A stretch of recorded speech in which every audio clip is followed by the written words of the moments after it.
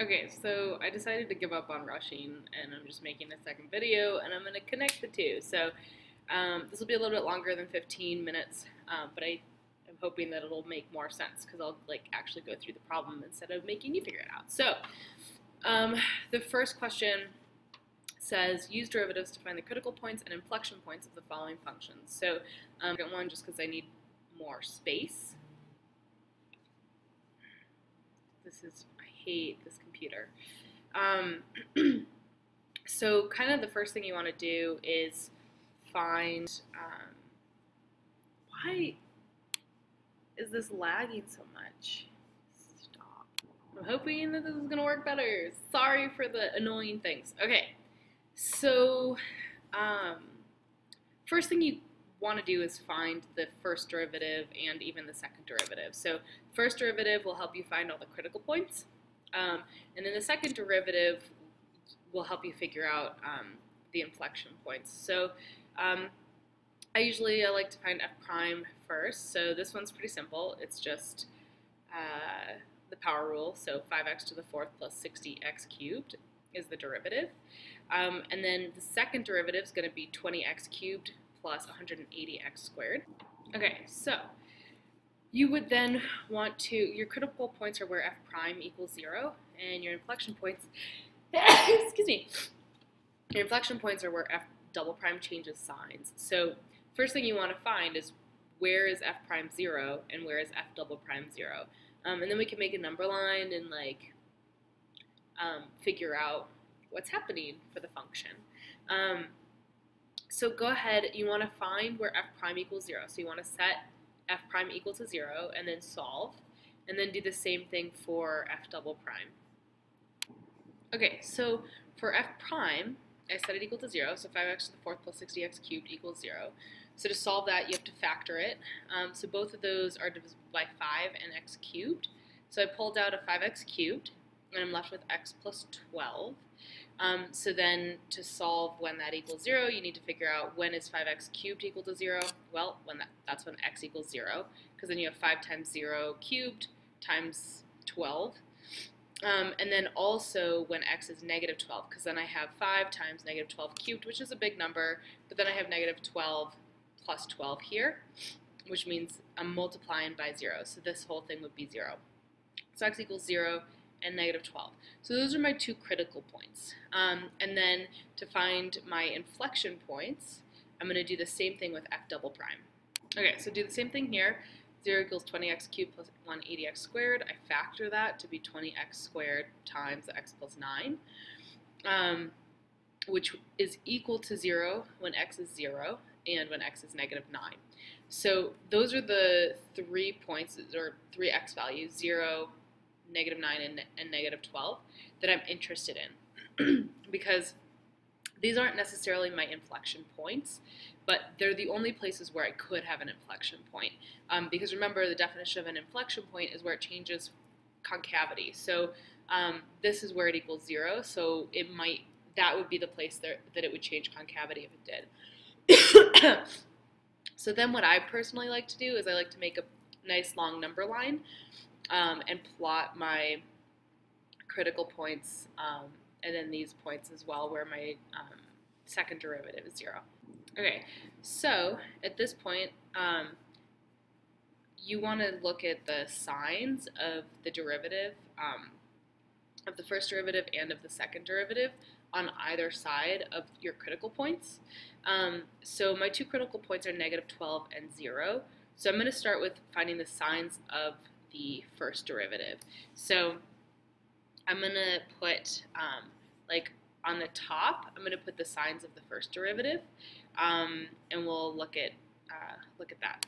Okay, so f prime is 5x to the fourth plus 60x cubed, um, and I want to know on both sides of my critical values, what is the sign of f prime? So negative 12 is my first critical value, so I want to know on the left of negative 12, what's the sign of f prime? So I would just pick a value of x that's to the left of negative 12, which closest one is like negative 13. And then you want to plug that into f prime. And you want to see what is the sign of that number. So um, in this particular case, it's a large number, but that's not relevant. So if I plug in negative 13, um, I get negative 13 to the fourth times 5 plus 60 times negative 13 to the third. The thing that's important is that this number is positive. That's all I care about is the sign, not the actual value. So then I would put a plus sign to the left of negative 12. Okay, so then my next critical value is at 0. So I would want to know what is the sign of f prime to the left of 0, which is also to the right of negative 12. So all of the values in here are going to have the same sign of f prime. Um, because negative 12 and 0 are the only two places where it's 0. So um, I'm going to pick a number that's easy to calculate in between negative 12 and 0, um, which happens to be, it, it, doesn't have, it can be any number in between 0 and negative 12. It can't be equal to 0, and it can't be equal to negative 12 because those values will make f prime 0. So you basically would do extra work. Um, so I like ones, so I'm going to pick negative 1. When I plug in negative 1 for x here in f prime, I have negative 1 to the fourth, which is positive 1 uh, times 5, plus 60 times negative 1 cubed. So this is going to be a negative 60 plus 5 is negative 55. Again, the only thing that matters is the sign, nothing else. So um, that is going to be a negative f prime. And then I want to do the same thing to the right. So um, I would maybe use positive 1. Um, 5 times 1 to the fourth plus 60 times 1 to the third is uh, 65, which is positive. Um, so basically what this tells me is from at negative 12, I go up, I have a zero slope, right? And then I go down. And then, um, so negative 12 has to be a max, a local max. And then at zero, it goes from negative to positive slope again. So basically, what that does is it tells me that negative 12 is a, um, a local max, and it tells me that zero is a local min. Um, so that's kind of nifty. So then I want to do the same thing for those zero values of f double prime. So let's take a look at that. So f double prime, remember negative 9 and 0 were the places where um, your second derivative was 0, so those could be inflection points. So you want to check the signs of f prime to the left of negative 9 and then um, in between negative 9 and 0 and then after 0 um, to see if it changes because that'll give you your inflection points. So um, before negative 9, I'm going to choose, oh, um, how about negative 10? because um, that's to the left of negative 9. So if I plug in negative 10 into the second derivative, um, this is what I get. Uh, I plug negative 10 and I get negative 2,000. Again, number doesn't matter. All that matters is the sign. So what I know is that the double prime is negative to the left of negative 9, which makes sense because if it's negative, and f prime is 0, then it has to be concave down, and this has to be a local max. Between negative 9 and 0, I might pick negative 1 again, because that's a nice number. Um, when I plug in negative 1 here, I have negative 20 plus eight, 180, a positive. So that's going to be positive in between negative 9 and 0 and then I might pick another x value to the right of 0. Um, so 20 times 1 cubed is 20 plus 180 times 1. Um, okay, so that's going to be positive as well. So what that means is that because at 9 it changes from a negative to a positive, then um, this thing's so freaking slow. Um, because it changes from negative to positive, that means that negative 9 is an inflection point. But 0, on the other hand, changes doesn't change. It goes from positive to positive, so this is not an inflection point. So if you look at the graph, it's kind of hard to see everything because it's it goes really, really, really high. But at zero, you do have a local min, um, and at negative nine, which is like way up there, you have um, a local max, and there should be an inflection point. Like if I drag this, ah, because again, you know, major problems.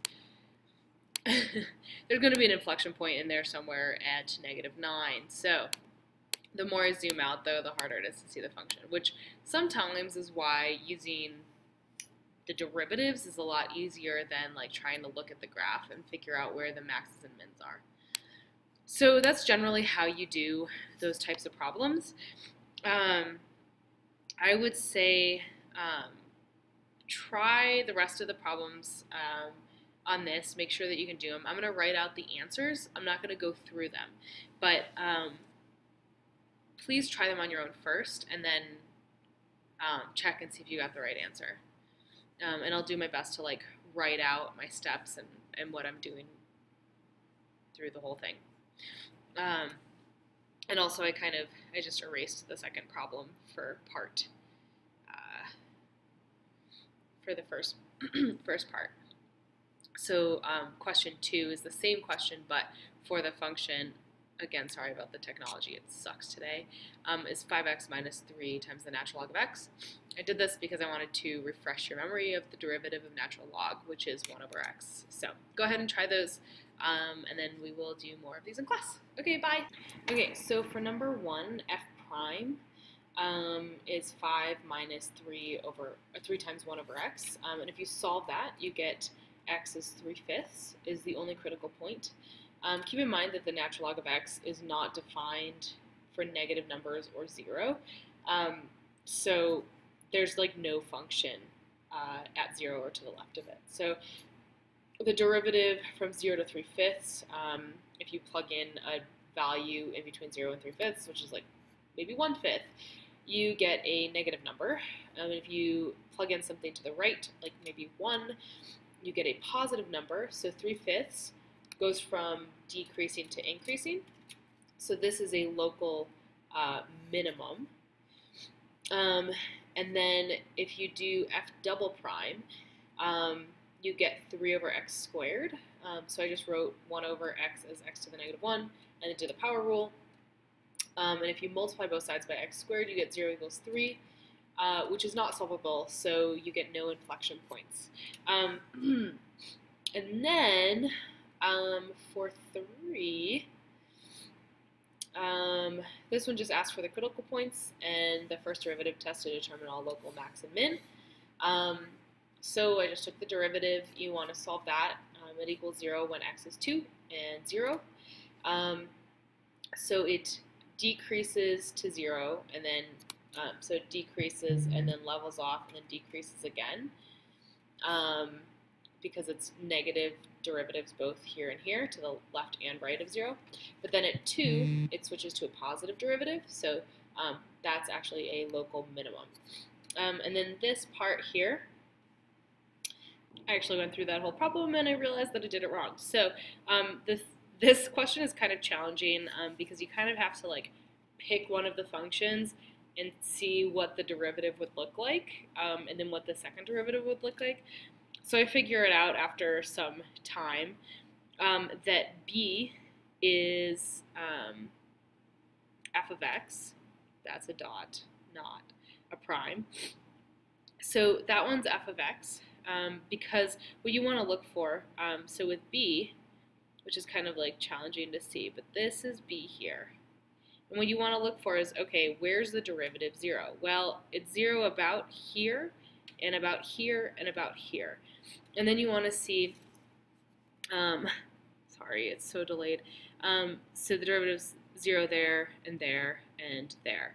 Um, and so then you want to see if there's a function that has that goes through the x-axis at those three points. And you notice that a does. It goes through the x-axis there, and it goes through the x-axis um, here. Kind of behind my green line, and it goes through the x-axis there. So my next best guess then was f prime. So then I just want to ch double check for f double prime. So you see f is concave down here, and the derivative's negative, then it's concave up, and the derivative's positive, and then negative again. That's